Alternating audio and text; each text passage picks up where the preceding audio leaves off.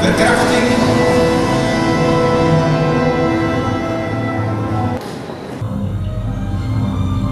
En gij, wie zijt gij?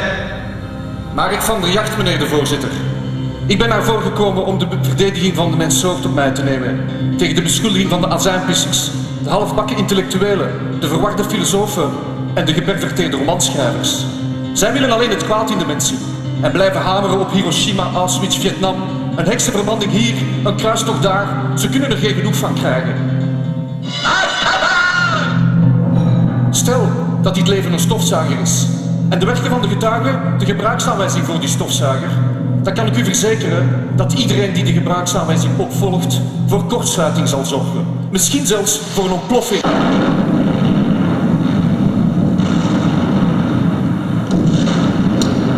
Bul, sla dat schepsel in de boeien.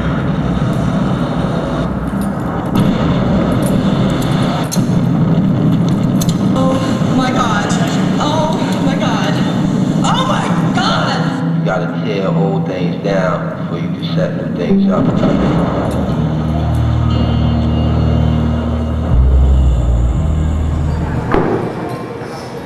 mens is een zondebok. Hij krijgt de schuld van alles wat misgaat op deze wereld. Hij is een marionet. En in plaats van de poppenspeler te beschuldigen wanneer de marionet zich misdraagt, wordt de poppenspeler aangeklaagd. Deze wereld is niets dan poppenkast voor verveelde goden. Niet iedereen mag even lang in de poppenkast blijven rondwalen. Het is begrijpelijk dat hierdoor spanningen en haat ontstaan en sommige poppen elkaar de hersens inslaan. Want waarom krijgt de een wat de ander wordt onthouden? Het misverstand begon toen de mens werd wijsgemaakt dat hij een rechtvaardige wereld zou aantreffen. Deze wereld is rechtvaardig, nog onrechtvaardig. Zoals ook een poppenkast niet rechtvaardig is of onrechtvaardig. Alleen maar toevallig, grillig, willekeurig en onbegrijpelijk voor wie een verklaring zoekt voor zijn verlies. De poppenspelers hebben er alles aan gedaan om de marionetten te bedriegen. Ze maken de poppen wijs dat er geen poppenkast is en geen toeschouwers zijn. Ze noemen de poppenkast wereld. De poppen heten mensen en de show heet leven. Ze vermaken zich kostelijk wanneer de poppen denken dat er geen touwtjes zitten aan hun armen, hun benen en hun monden. Ze glimlachen minachtend als een marionet zich vertwijfeld afvraagt of hij nu linksaf moet of rechtsaf, terwijl alle beslissingen al lang zijn genomen of verdomweg niet toe doen. Wat het nog moeilijker maakt, is dat we geen betrouwbare informatie hebben over de poppenspeler. Is er er één? Zijn het er meerdere? Is er de ene keer een poppenspeler en de andere keer een automatische piloot op hol door magnetische golven?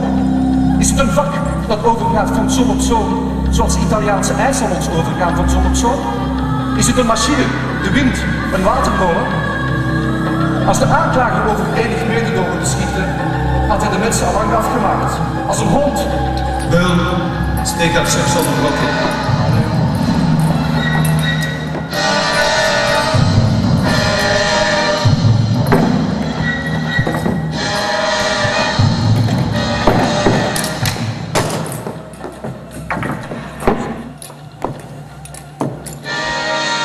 Mijn cliënt heeft zich aangepast aan de tijd, aan het land, aan zijn vrouw, aan zijn kinderen, aan de televisie, aan de helden van de dag.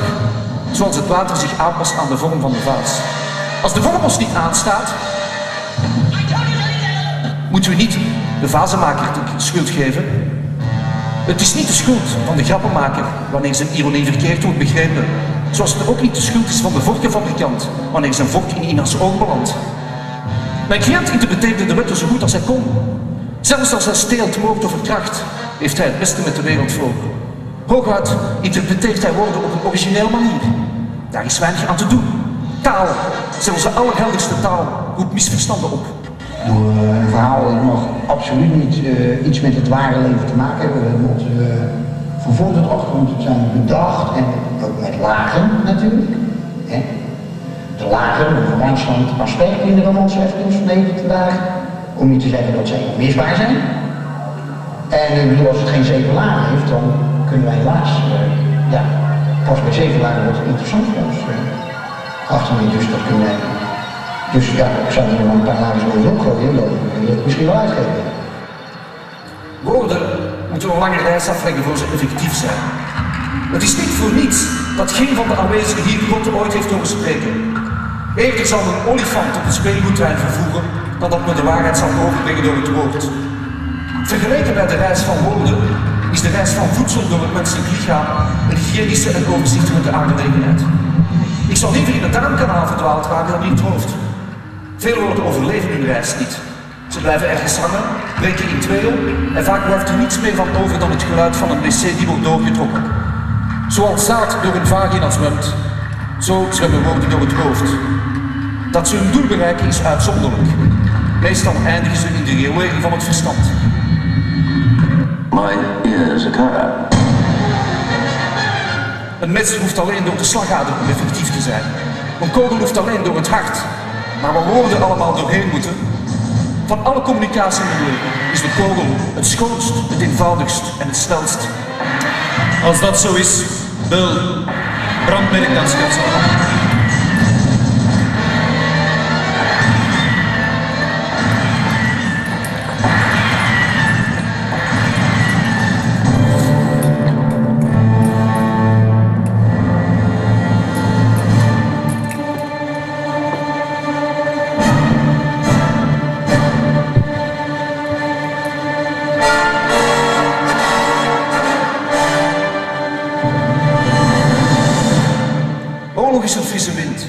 Een toestand waarin de mens zich eindelijk kan bevrijden van de regels die hij half of niet begrijpt en die toch op hem drukken. Een toestand waarin hij even schaamteloos kan zijn en de liefde voor zijn leven kan herwinnen. Een mens waardeert zijn bezit pas goed als men het hem ontneemt of dreigt te ontnemen. Niemand houdt meer van zijn leven dan hij die het dreigt te verliezen. Daarom maken geliefden elkaar jaloers. Omdat ze bemind willen worden en weten dat weinig meer kans biedt op liefde dan het dreigement dat aan uw trouw, uw toewijding en uw onvoorwaardelijke aandacht ten einde komt. Oorlog is een massale vliegt met dood en vernietiging om de liefde voor het leven te bevestigen. Er valt veel goeds en moois en nuttigs in een oorlog te ontdekken. En net als de voorjaars schoonmaak ruimt het lekker op. Bill, breng de stoel in gereedheid. Wie de behoefte aan wraak barbaars noemt, verkeert waarschijnlijk in de aangename positie dat hij nog nooit wraak heeft hoeven nemen.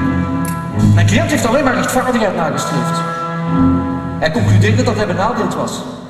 Hij herinnerde zich dat men hem rechtvaardigheid en gelijkheid had beloofd. Nee, dan een krimpassoneel kan zelfs de meest fanatieke aanklager er niet van maken. De gezelligheid werd mijn cliënt iets te veel. De knusheid steeg hem naar het hoofd als goedkope wijn. Hij dacht, nog één bistro met kaarsjes op tafel en ik ga schieten. Bill, zet dat schepsel in de stoel.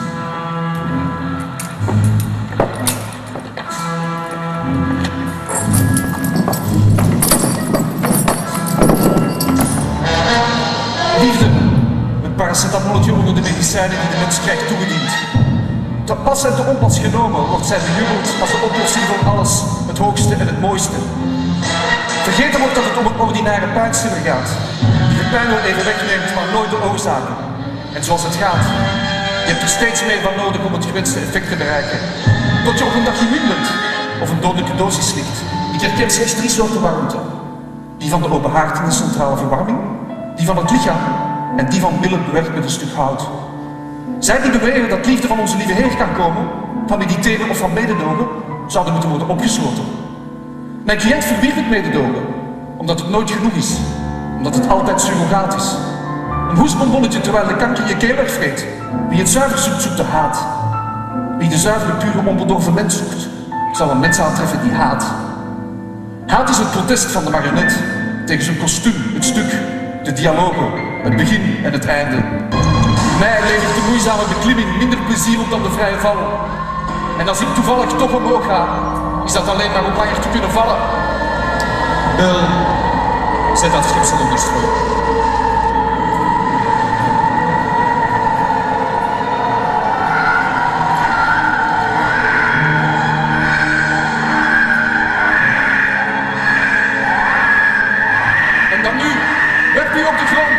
En schreeuw uit volle borst. Schreeuw met alle passie die u nog in u hebt. Baby Jezus, baby Jezus, baby Jezus. En ik zal antwoorden.